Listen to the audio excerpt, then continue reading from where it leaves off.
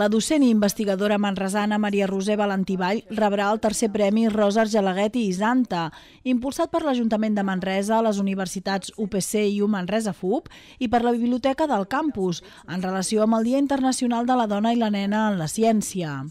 Valentí Vall es va graduar en física el 1986 a la Universitat de Barcelona, on després va fer el doctorat. Pel que fa a la seva experiència professional, ha treballat a la Universitat de Florida. Va ser assistent d'investigació i docent a l'Institut de Física de la Universitat de Dortmund.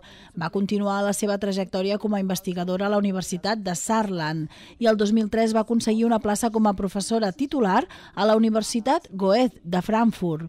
Paral·lelament, Valentí Vall és catedràtica de Física i investigadora investigadora a l'Institut de Física Teòrica de la Universitat de Goethe. La seva recerca se centra en el desenvolupament d'algoritmes i simulacions per resoldre les equacions de la mecànica quàntica. Durant la pandèmia, Maria Roser Valentí va participar en un estudi de simulacions de l'epidèmia utilitzant nous models epidemiològics. Els resultats suggerien que la taxa de reproducció de la malaltia evoluciona de manera dinàmica en resposta a reaccions polítiques i socials. Valentí Vall i els seus col·legues van demostrar que el model reprodueix els recomptes oficials de casos de Covid-19 d'un gran nombre de regions regions i països que van superar el primer pic del brot. L'acte de lliurament del guardó es farà el divendres 10 de febrer a dos quarts de set de la tarda a la Biblioteca del Campus Universitari de Manresa.